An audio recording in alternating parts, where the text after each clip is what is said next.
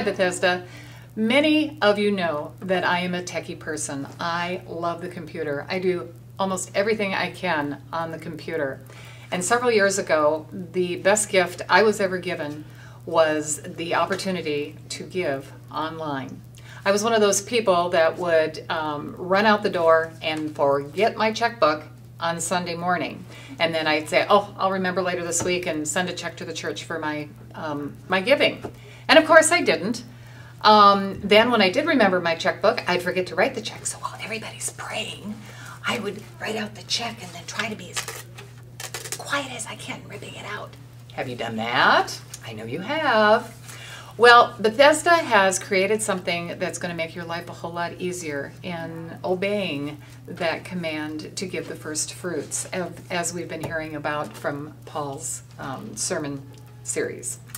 And what it is, it's called e-giving. And I'm going to show you um, how to do that on the computer. This is our uh, opening screen of our website, and down here in the right-hand corner, it says e-giving, support our ministries, because that's just what you can do. You can support the ministries or do your regular giving here.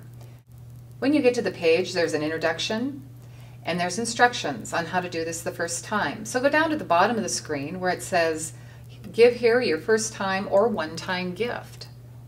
You'll just click on that link and it brings you up to the screen that you put in your information. And this is your first name, last name, address, all of that. And it does need to match exactly what's on your credit card or on your checking account. Then as you scroll down, you can see the list of our different um, opportunities to give, our ministries, and we can create different things in here at any time, you know, just one-time events or things that are ongoing.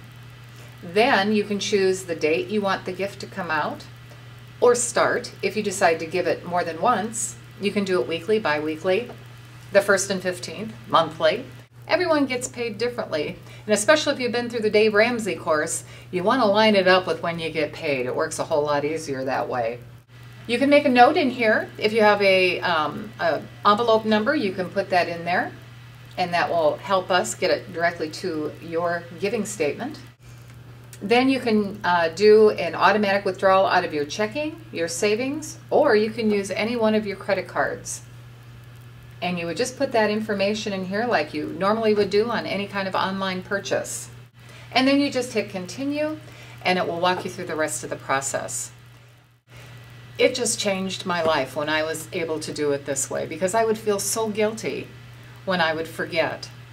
And I have found it very rewarding um, to know that I am doing what God has asked of me.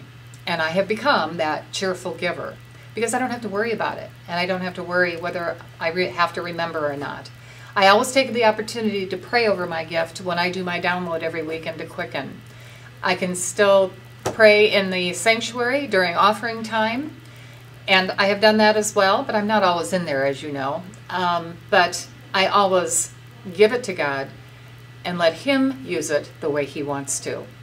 If you have any questions about this, contact the office or you can call me too. I'd be happy to help you.